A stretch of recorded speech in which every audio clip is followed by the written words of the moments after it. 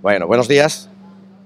En primer lugar, hoy, un día más, toca hablar de otro tema importante que eh, incumbe a Melilla y que el partido lo tiene en cuenta a nivel nacional. Y tiene que ver con el comercio. ¿eh?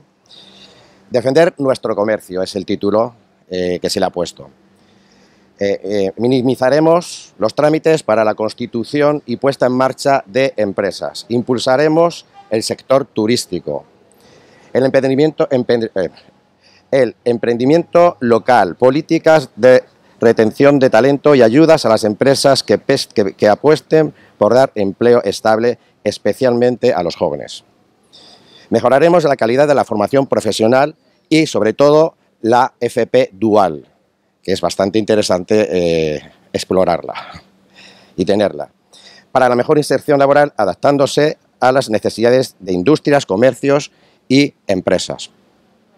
Defenderemos el comercio local y el producto nacional, Impulsaremos un plan de ayudas a la conservación de empresas familiares y centenarias, mediante incentivos para mantener la actividad y el empleo, facilitando el relevo generacional.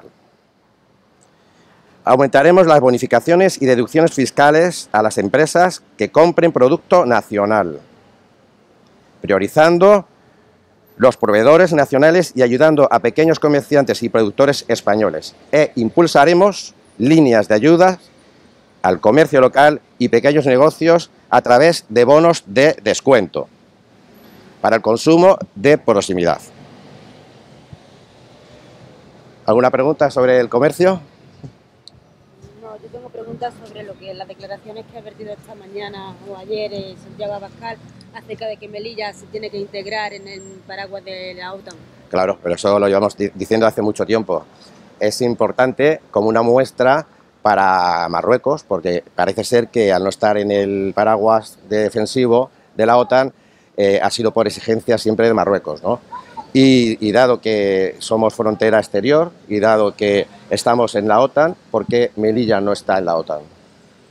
Esa es la respuesta, que tiene que estar en la, OTAN y estar cubierto por el paraguas de la OTAN. Ha puesto también por una frontera única. Una única, que no haya como ahora dos, ¿no? Claro, evidentemente la frontera tiene que estar donde está y el aeropuerto y el puerto no debería tener, eh, no debería considerarse como una semifrontera porque nos tenemos que identificar allí los españoles. ¿Por qué?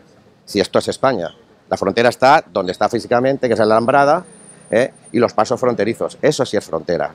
El resto de la ciudad ya no. Entonces aquí debería deambular cualquier persona eh, con DNI o cualquier extranjero que venga con su pasaporte y con su visado, como en cualquier otro tercer país. ¿Y puedes desarrollar un poco más alguna de estas medidas que acabas de presentar, como por ejemplo cómo se va a hacer para reducir esos trámites a la hora de emprender? Bueno, es que eso ya habría que ponerse los técnicos. ¿eh? Eso es en el programa tenemos metido esto que creemos que es lo conveniente para eh, facilitar el comercio. Sobre todo porque estamos viendo que el comercio local eh, no está creciendo, está muy parado y hay que incentivar que, y con, sobre todo con la FP Dual, ¿eh? que es una manera de que se pueda estar estudiando y a la vez se pueda estar haciendo prácticas. Eso al final pues, eh, pondría al alumno, al futuro trabajador, lo tendría más preparado a la hora de, ser contratado, incluso la propia empresa que lo está teniendo en prácticas, pues si lo ve competente y demás, le haría un contrato.